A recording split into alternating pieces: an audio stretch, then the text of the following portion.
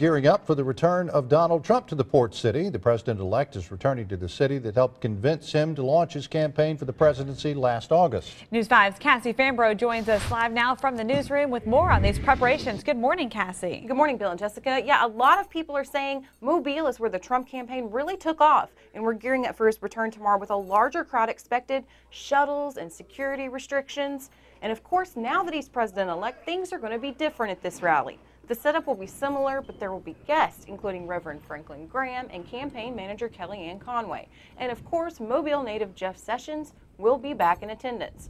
Organizers are saying Mobile is special to the Trump campaign.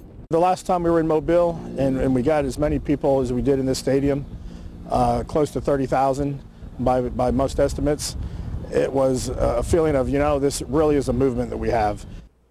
Were actually closer to 20,000 people there, but Trump touted the first Mobile rally as one of his largest, and it could certainly be 30,000 strong this go round, now that people want to go see a president elect.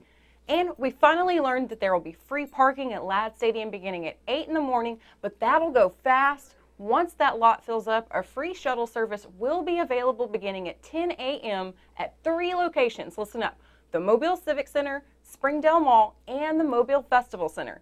And don't worry, we're going to post all of this, everything you need to know about Trump's visit, including what not to bring on our website, WKRG.com, and we're going to have live coverage there tomorrow as well.